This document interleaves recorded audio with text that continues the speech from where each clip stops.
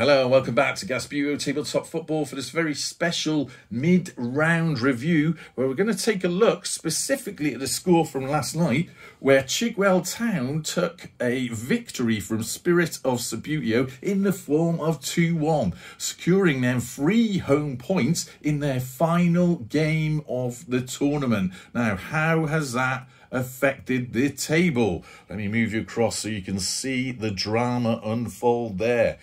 Chigwell's win last night for their final game, their seventh game, displaced Liverpool out that top two position, giving them a final score over there of 10 points. Liverpool themselves have got one game left to play, so they'll be looking for a win to get them back in there. But even a draw will suffice. They're on a goal difference of zero, as you can see on the table there. 10 points, zero goal difference should be enough to get them up to Chigwell Town. Now, who is going to stop Liverpool from doing that? Well, of course, their next and final game is against the Bows. The Bows are going to be looking for a win, a fifth win out of five Quite simply because if they get a win, 15 points, it makes them untouchable in this tournament. It guarantees them a position in the final uh, game. Um, no one can reach 15 points. No one else can do it anymore. So Bows will be very much looking for that win. They get that win in the next match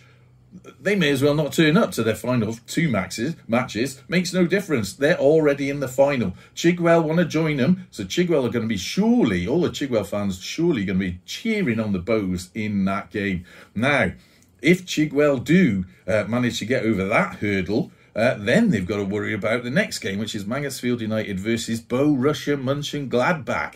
Some, I, I, know, I get it. That's the sort of game you see on European football channels all the time. Mansfield versus Borussia Mönchengladbach. But nonetheless, we're going to play it out here at Gasbbuteo Stadium as well. Uh, Chigwell there will be looking for a draw because a draw is the only thing that's going to help them. If either of those teams get a win, a convincing win, uh, in fact, just a win, then Chigwell are going to be out of that top two space. After that, who knows where the table will lie. But for right now, the big importance for Chigwell fans is seeing a Bows victory. If you're a Scouser, you're going to want to be seeing those Essex boys kicked roundly out of that top two position.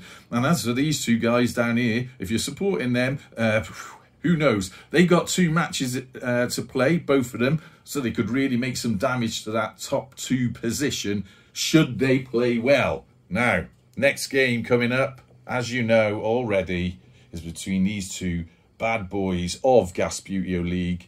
Is there going to be a victor? Is it going to be a complicated draw?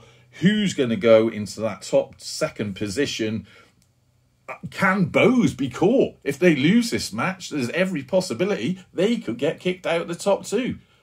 Let me know what you think is going to happen in the comments. And until then, up the gas.